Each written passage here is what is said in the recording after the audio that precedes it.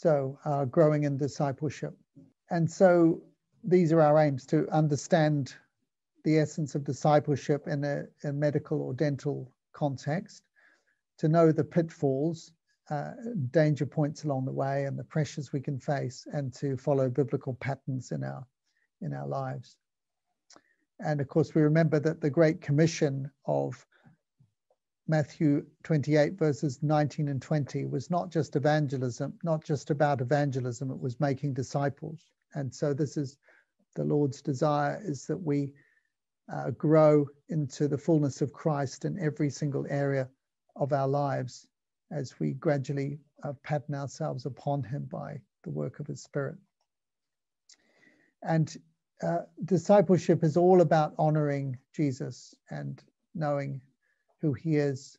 Of course, the, there's these wonderful passages in the in the New Testament which tell us Colossians 1 or Ephesians 1, the Christological passages which tell us that Jesus is the creator and the sustainer of the universe who entered our universe, entered our world as a human being and demonstrated who he was through his teaching and claims and miracles and through his death and resurrection, and who now sits at the right hand of God and so, what has he done for us? Well, he, of course, has taken the form of a servant and laid down his life and become obedient unto death. And so, he grants us his salvation as a gift that we receive through faith, that we can do nothing to gain ourselves. And, and uh, he then calls us to follow us in his mission, which uh, we'll be looking at in one of these sessions the Nazareth Manifesto of Luke 4 18 and 19 which is about preaching good news to the poor, recovery of sight to the blind, release of the captives, and proclaiming the year of the Lord. So, preaching, healing, deliverance, and, and justice. And what's coming? Well, we look forward to a new heaven and a new earth. So, we're living uh, through this temporary time on earth, but our real destiny is to be with the Lord Jesus and with each other uh, forever in a new world that's coming where there'll be no suffering or pain or difficulty. And that's what he won for us through his death on a cross. So it's all about Jesus and who he is and how we can honor him in our lives. That's what discipleship is. And there is an inextricable link between loving God and obeying God. Love and obedience are together. And remember uh, when uh, Jesus asked the disciples when he preached the bread of life sermon and everyone went away and he turned around to them and said uh, what about you? Are you going to go away also? And peter said to him lord where would we go? You have the words of eternal life and we've believed and come to know that you are the holy one of god and uh, that was an amazing thing because in Luke 5, we, we learn that Peter, when he first experienced a miracle of Jesus in making an amazing catch of fish, his response to Jesus was to say, Go away from me because I'm a sinful man. And yet Jesus said to him, No, come and follow me. And then later, of course, when he grasped this, he realized there was nothing else he wanted to do but to follow Jesus. And it's the same for each one of us. Uh, but loving him means obeying him. the Sermon on the Mount talks about the man who built his house on the sand and the rock. And the one who built his house on the rock is the one who not only heard the word of God, but obeyed it and put it into practice. And Jesus said repeatedly, If you love me, then you will obey my commands. And of course, part of his command is to is to teach and to train, disciple others. And I'm reminded of Jesus's words to Peter right at the end of John's Gospel. Do you remember when when he asked Peter three times, "Do you love me?" And Peter says, "Yes, yes, of course I love you." And, and Jesus said, "Feed my lambs, tend my sheep, feed my sheep." So we show our love for Jesus by obeying his commands, but part of that is in discipling uh, others, uh, building other disciples to, to follow him, feeding uh, his sheep. We've been entrusted with his word to, to do that. Now, when we think about junior doctors or, or junior dentists, uh, whether they're students or just starting out, there are all kinds of pressures we face. First of all, there are the social pressures of being separated from home and family, maybe from church as, as well, uh, working very long hours, um, meeting a lot of new people, having to form and break relationships quickly as we move from uh, ward to ward, from hospital to hospital. And there's also the psychological pressures of dealing with a huge amount of stress and uh, anxiety, difficult situations, seeing people dying or suffering, and uh, having to deal with people at the most difficult points in their lives when they may be very anxious, very angry, um, asking deep questions. And then, of course, there are spiritual pressures as well, uh, being separated from our brothers and sisters in Christ on, on long shifts. But how do we maintain a devotional life? That question. And of course, we are entering a spiritual battle because we have a real enemy in the devil who is seeking to uh, cause trouble for us. So there are there are great pressures that every Christian faces, but there are specific pressures that we face as medical or dental students or junior doctors or, or dentists. And so we have to be aware of and uh, avoid the pitfalls. you may wonder why is there a sheep on this on this uh, slide? And it's because I'm going to tell you a story. When I was a young man, we used to go away on holiday uh, in an old gold mining town where there'd been gold mines uh, about 50 to 100 years before. And one day I was exploring this gold mine, uh, walking in through this shaft with friends, and I had a torch uh, with me. And we walked in, and I was about 20 meters into this mine. And then I saw ahead of me in the, in the floor of the shaft, there was just a vertical shaft that went straight down. And I could so easily have walked into it if, had, if I hadn't had my torch with me.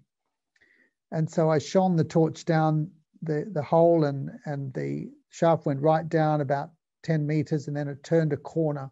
And so, of course, we went home. We were very excited about this. We went home and got some ropes and some ladders, and we came back and with the idea of exploring this. And I lowered myself down this rope into this into this uh, hole. And uh, when I got to the bottom, the shaft bent around. I, I shone this torch right down into the darkness. And I saw about 10 meters below me, right at the bottom of the shaft, it came to, to an end. And, and I saw a dead body down there. And it was the body of a sheep, not a human being, but a, a dead sheep, just the skull and, a, and some wool and so on. And of course, what had happened was this sheep wandered into this gold mine and uh, probably to get away from the rain. And of course, he didn't know where he's going, and he fell down the shaft and broke his broke his neck and died and never got out. And the sheep made made three mistakes. You'll see the point of this shortly. He made three mistakes. The first thing is the sheep didn't walk in the light, and uh, we we walk in the light by living in, in accordance with God's word. Psalm 119, verse 105, His word is a light to our path uh, a, a, lamp to our path and a light to our, our way. So the sheep didn't walk in the light. He made that mistake.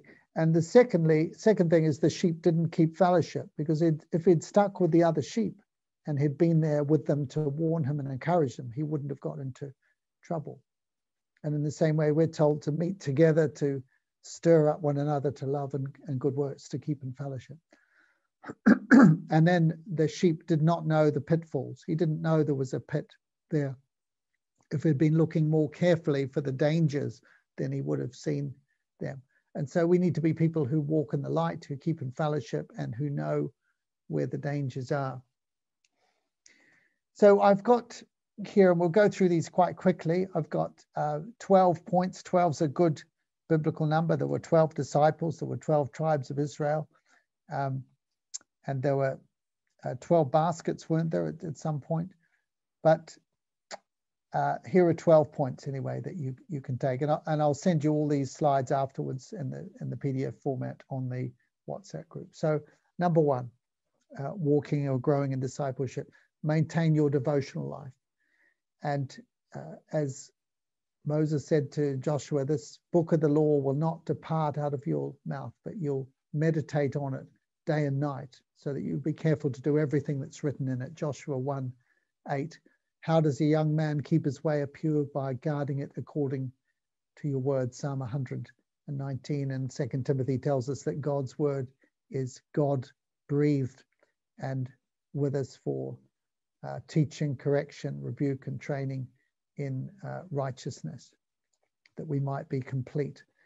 And so uh, the word of God needs to be a huge part of our lives, and we need to be soaking and feeding on it every day. And it, it means having a special time for it, it which is different uh, wherever you are. Uh, we find at the moment the best time is just as soon as we get up and we, my wife and I, read the Bible together separately. Then we read one chapter together. We talk about it. So every every morning, and and I aim to get through the whole Bible at least once every year, sometimes twice a year. By re reading three or three chapters a day, we'll get you through in just over a year.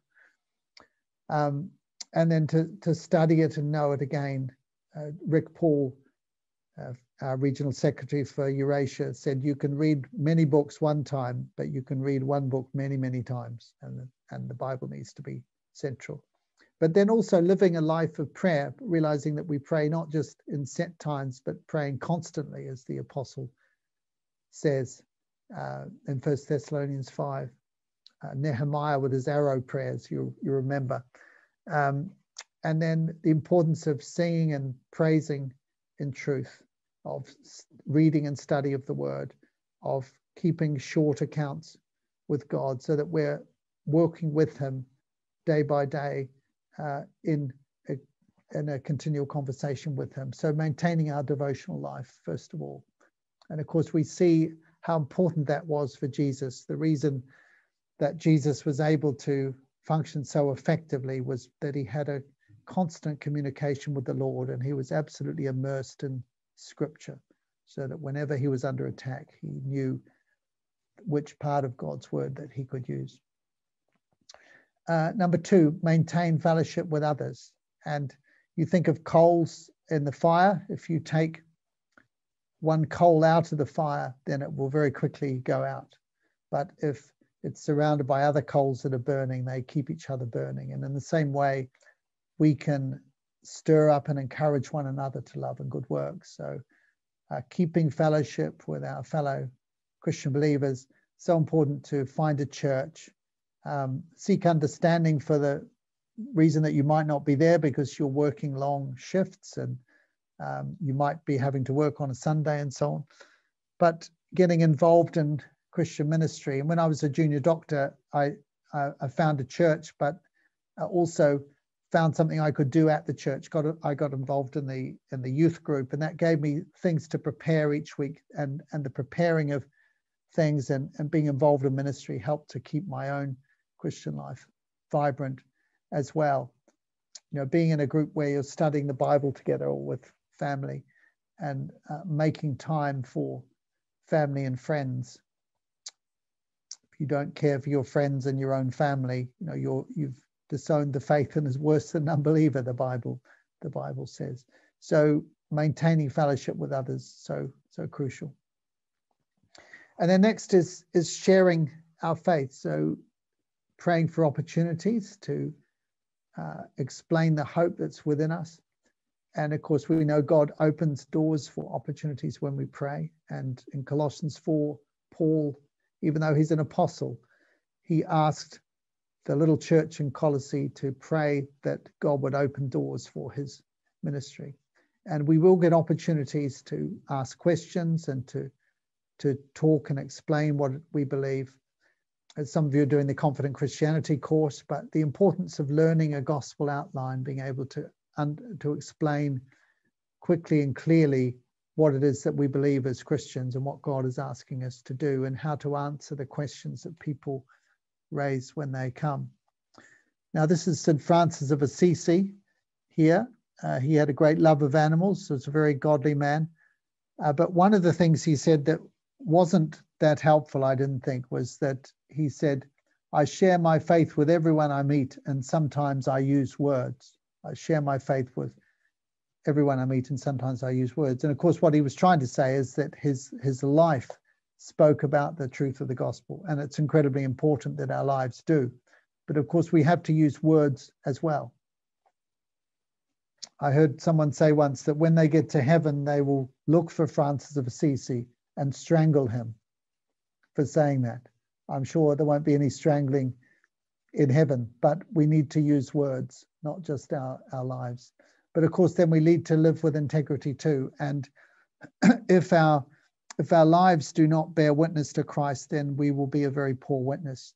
This is Daniel in the lion's den, where we know that God closed the lion's mouths. But we we learn about Daniel in Daniel 6 that he was incredibly good at his work. And if you don't pay attention to your work, then people won't pay attention to your your witness. Daniel, it said, was neither corrupt nor negligent, but he was a good worker. And a, a, a bad reputation uh, will mean that you do not have the opportunity to share or to be a witness. And it's, um, you know, I, I remember when I was a, a, a junior doctor and one of the members of our Christian Medical Fellowship, who was a very eminent doctor, but and we'd met him and he's very nice in a social context. But when we got into the hospital, we learned that this man had a very bad reputation because he wasn't good at his work. He didn't pay attention to it and was professionally weak.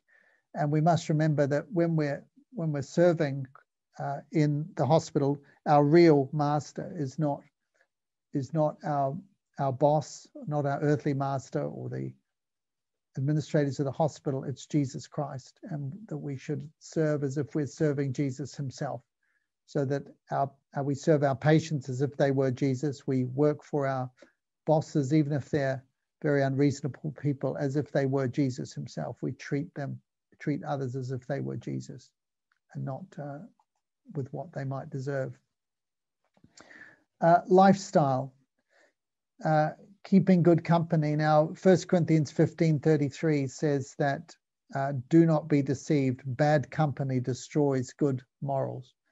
And of course, if we spend time mixing with the wrong kind of people, and I'm not saying that we shouldn't witness, because of course we we shouldn't, we have to spend time with non-Christians, but if we're keeping company generally with those who are going to be a bad example to us, then it will destroy our good morals. So the flip side of that is to find people who are going to be good company for us and who will make us want to be better people and walk in obedience to Christ. So, uh, other fellow Christians or leaders we can follow. And the life of discipleship is a life of repentance. And it's not just repentance at the beginning, it's a, a life of continual repentance, turning away from, from sin. Uh, and every day uh, making choices not to do things that are wrong uh, and to do things that are, are right. And of course, there are many sins such as those listed in First Corinthians. Uh, sexual sin, in particular, I think is a big temptation for doctors and dentists, especially when you're tired, long shifts away from friends, and so on, uh, to get into a, a, bad relationship. But it's it's often the little things. It's just uh, complaining and gossip, the way we speak about other people, our attitudes to our work, and uh, when Paul talks to the Philippians about shining like stars in Philippians 2, he's talking about not complaining, uh, not whinging, whining, moaning, not gossiping, not speaking about others. And uh, the way we use our tongues, James tells us that those who teach will be judged with much greater strictness. And, and he says that the way we use our tongues is incredibly important. What's your lifestyle, number five? So we're moving on now, number six. Get adequate food and rest. Now, uh, Luke 5 tells of Jesus after a time of healing. It says, and the people crowded around Jesus. But he often withdrew to, to lonely places. and prayed. And I think that's very striking that Jesus, of course, faced incredible pressure because everyone wanted to hear him, everyone wanted to heal him, everyone wanted to be helped with him. But even Jesus, as the Son of God, he recognized the need for food and rest. And he actively withdrew, even in the face of need, uh, in order to spend time with the Lord and recharge himself. Uh, so, how much more important is it for us? And it's very, very easy when you're working long shifts uh, to get worn down, and then your resistance to temptation is lowered, and you're much more likely to be emotionally uh, challenged and unstable. So, it's so important that we make sure we get adequate food and rest when we're on on duty.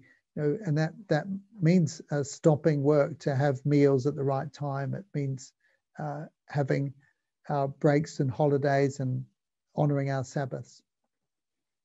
This picture is of Elijah. Um, and I, I took this photograph myself. I took it on the top of, of um, Mount Carmel when I was there in, uh, in Israel a few years ago. And on the top of Mount Carmel is this statue, and it's, it's Elijah killing the prophets of Baal after he'd called down fire from heaven. Do you remember the, the story? And he took them down to the, the brook, which you can see from the top of Carmel. But this statue's on the top. Now, remember, after Elijah did this amazing uh, job, uh, showed incredible courage and faithfulness to the Lord, and he stood alone against 400 prophets of Baal in 1 Kings 18. But in the very next chapter, in 1 Kings 19, he, he gets frightened, he runs away. Uh, he's scared of Jezebel, the queen, and what she might do from him. And he, he runs and he hides in this cave. And the Lord comes to find him there. And he's absolutely exhausted. And he's afraid and uh, he's, he's really a, a crumbling wreck. And remember how God manages him in that situation. The first thing is that God says, okay, your first priority, Elijah, is food and rest. He feeds him and he allows him to rest and regain his strength. And then he has a fresh encounter with the Lord and gets refilled with the Lord's Spirit, and then he's ready to do the next job. But if Jesus needed food and rest, and if, if Elijah did need to stop to do it, then uh, how much more do we? And it's this question, you know, what, what is your restful activity? Do you have things which regenerate you?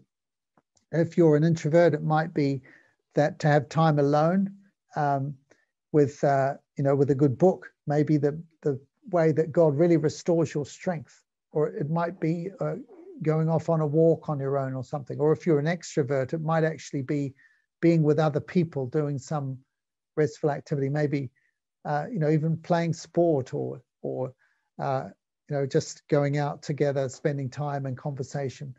What's your restful activity? What what is it that rebuilds your, your strength. Understand the way you are. Get adequate food and rest.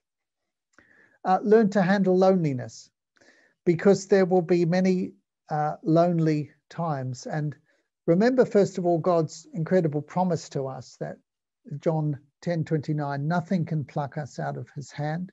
Hebrews 13 5, he'll never leave us nor forsake us.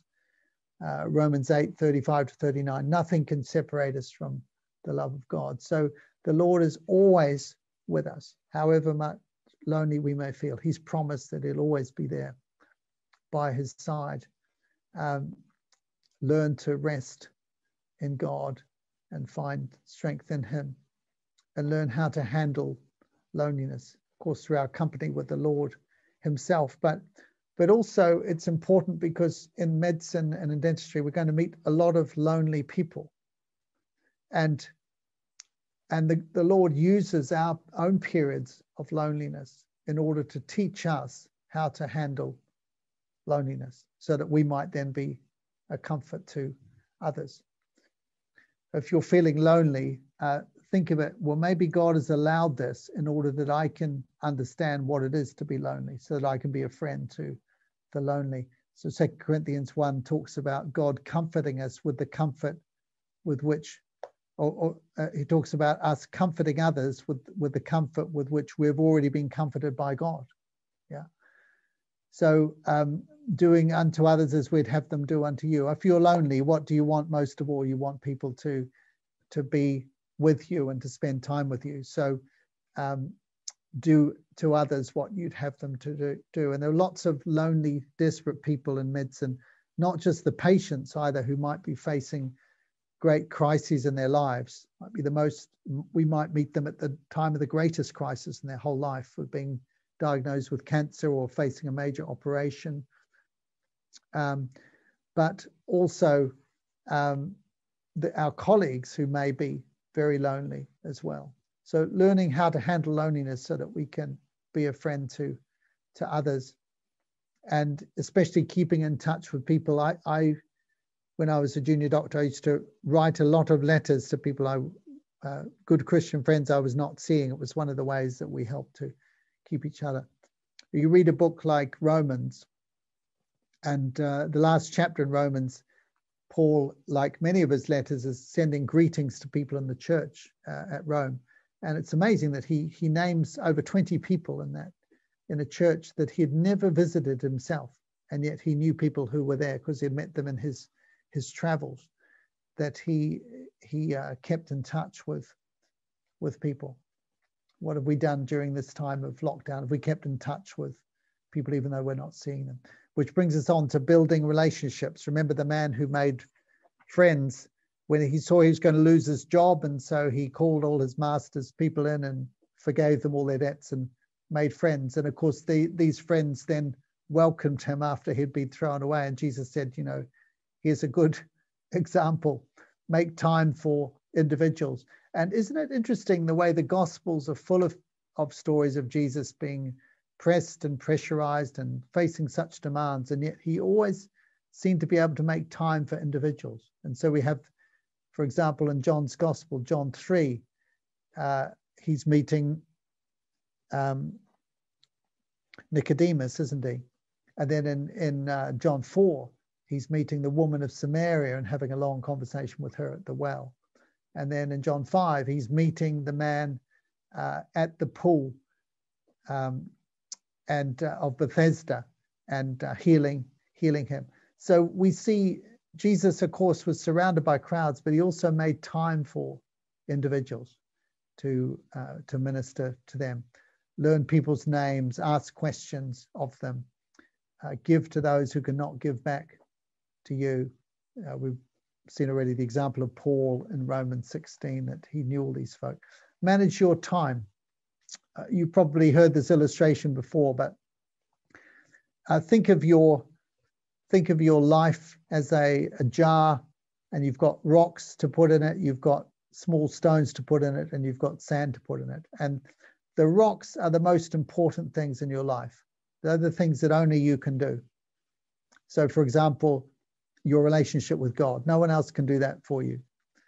Uh, no one else can be uh, a father or mother to your children. No one else can be a daughter or son to your parents. No one else can be a sister or brother to your brothers and sisters.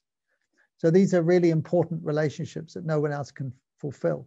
And of course, then our work as well. Uh, we're appointed to a job, we're to fulfill that job. So those are the rocks in our lives. We make sure that we manage our time so that we have enough time for those things. And then there's the stones, the things that are uh, less important, but they're still important. Um, you know, hobbies and leisure time and uh, other things that we can do. There's plenty of room left for stones. And then the sand is the, the less valuable uh, things.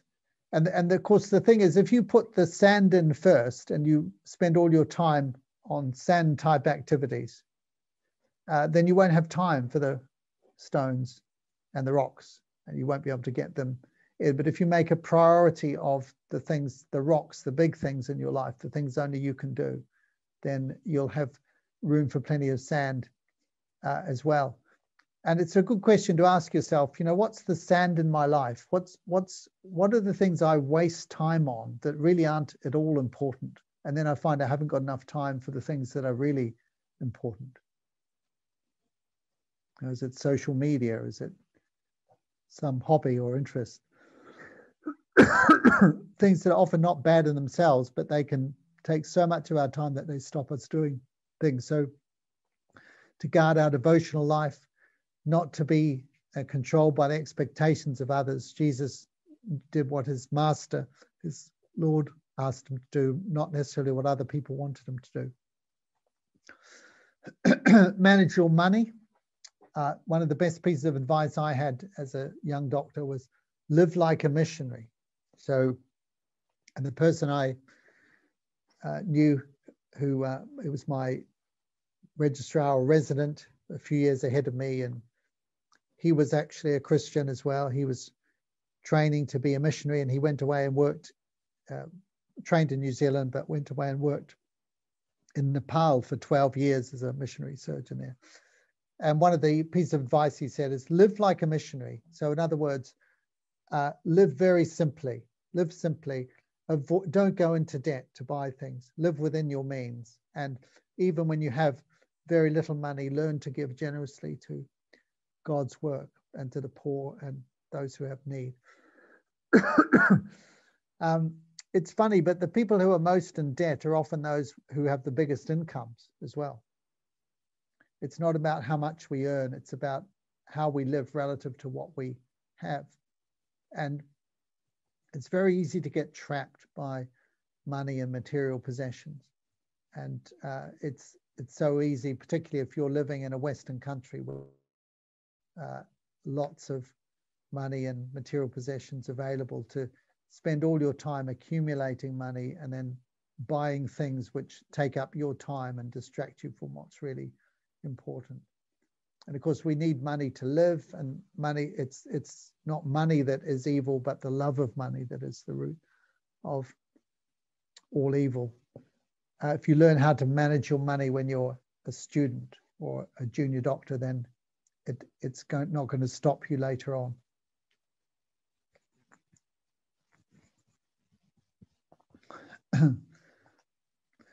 uh, number 11, we're nearly there now. Know where you stand. What does that mean? Well, it, it means on ethical issues and moral issues that you know the boundaries that you must not cross.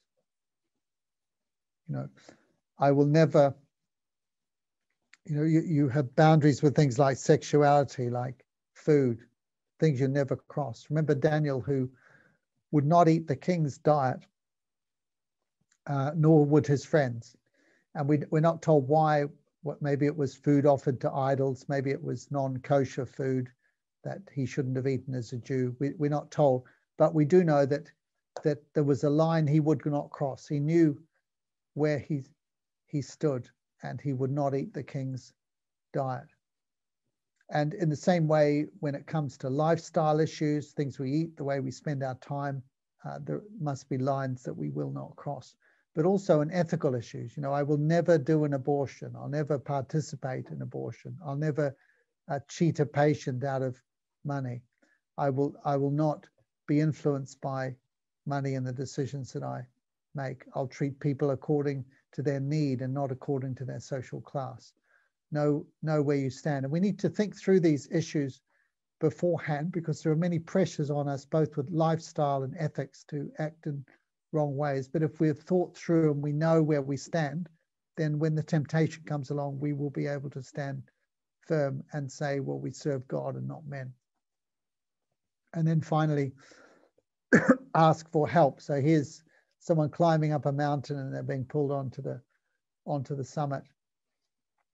Um, we can get into trouble by not asking for help, and I I think uh, particularly in medicine, if you're taking on things which are beyond your level of training because you're afraid to ask for help or because you're too proud to ask for help, then you could find that a patient might die or suffer as a result of this. And um, so we must always be ready to ask for help, uh, and not just of human beings, but of course of God uh, as well. Jehoshaphat's prayer in Second Chronicles is goes something like this: Lord, we do not know what to do, but our eyes are upon you.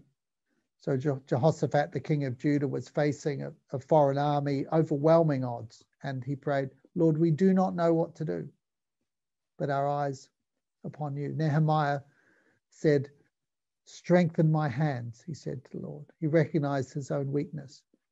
Paul talks about God's strength being made perfect in weakness. Uh, he talks in Galatians about bearing one another's burdens because none of us is enough on our own. We all need each other. We all need help. All of us have weaknesses. So to have a humble attitude where you're asking for help and doing it frequently, it's not a weak thing to, to do that.